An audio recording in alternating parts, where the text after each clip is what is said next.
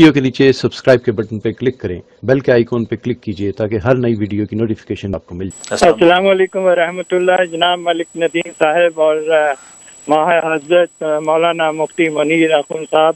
میں آپ کا چاہنے والا پیار کرنے والا دل سے دعائیں لینے والا میں ڈاکٹر زکریہ بول رہا ہوں بیلجین سے۔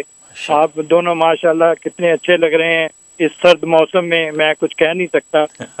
اور میرا سوال آج کے ٹاپک سے یہ ہے کہ اگر کوئی نیا کوئی انسان اسلام میں شامل ہوتا ہے اور مسلمان ہوتا ہے تو کیا وہ شیعہ فرقہ میں جاتا ہے؟ تو شیعہ کا فرقے میں وہ چوز کرے گا۔ اگر وہ سنی میں جاتا ہے تو وہ بڑا کنفیوز اس کے لیے یہ چوز چوز کس کو وہ کرے گا؟ کون سے فرقے کو وہ کرے گا؟ ایک نئے مسلمان کے لیے جو اسلام میں داخل ہوتا ہے۔ یہ بڑا ٹرکی سوال ہے اور امید ہے کہ حضرت حسب معمولی سے بڑے پیار سے اور ہنستے ہوئے، مسکراتے ہوئے اس کا پیار سے جواب دیں گے۔ شکریہ۔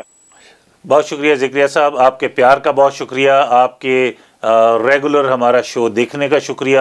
آپ کے سوالوں کا شکریہ اور اتنے پیار سے آپ کال کرتے ہیں یقین کیجیے دل بڑھ کے اتنا ہو جاتا ہے۔ سو مفتی صاحب بڑا خوبصورت انہوں نے سوال کیا۔ ایک نو مسلم کے لیے تو یہ بڑا ہی مشکل فیصلہ ہے۔ وہ اسلام سے متاثر ہے۔ اسلام کی تعلیمات سے متاثر ہے۔ مسلمان ہونا چاہتا ہے دین پہ عمل کرنا چاہتا ہے۔ کس کا دین اختیار کرے؟ کس کے راستے پہ چلے وہ؟ بالکل بڑا اچھا آپ نے پوائنٹ اٹھایا۔ وہ اس کے لیے ہے کہ جس کے ہاتھ پہ جب مسلمان ہوگا ظاہر ہے کہ جس کے ہاتھ پہ مسلمان ہوگا اور وہی اپنا اثر ڈالے گا اس پہ کہ آپ اسی مسلک اور عقیدے کو اختیار کریں جو بیرا ہے۔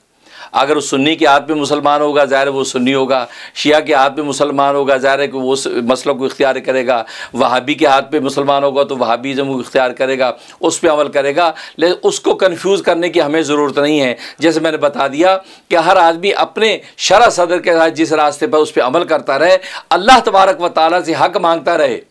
اور باطل سے بچنے کی توفیق مانگتا رہے، اللہ تبارک و تعالیٰ خود ہی اس کو جو ہے وہ حق والوں کے ساتھ جوڑ دیں گے اور اس کو شرح صدر دے دیں گے، اصل حقیقت کیا ہے؟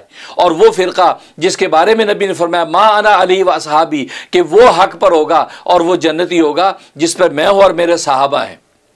لہذا وہ والا جو دین ہے، اس کے اللہ اس کو جوڑ دے گا، کیونکہ یہ جواب جو میں دے رہا ہوں، یہ ایک پریکٹیکل جواب دے رہا ہوں۔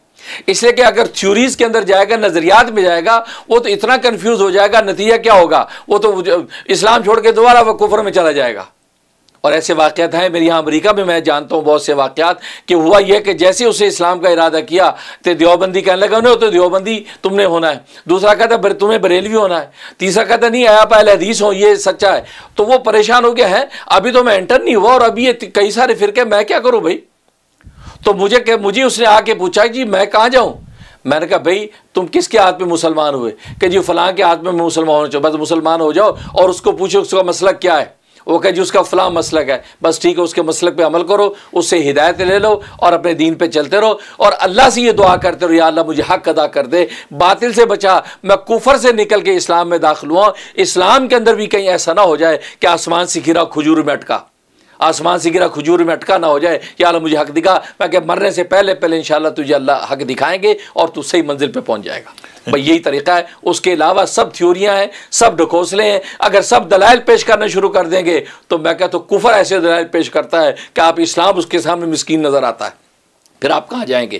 اس کا مطلب یہ ہے کہ دلائل میں ایک آدم آدمی کو ڈالنے کی ضرورت نہیں۔ وہ جس مسلک پر ہے، جیسے حضرت تھانوی رحمۃ اللہ فرمایا، اپنے مسلک کو چھوڑو نا دوسرے کے مسلوں کو چھیڑو نا تنقید اعتراضی سے جھگڑا کھڑا ہوتا ہے، اس کو چھوڑ کر اپنے اپنے رائے عمل پر لگے رہیں۔ اللہ تبارک و تعالیٰ خود ہی سچی منزل عطا کریں گے۔ انشاءاللہ۔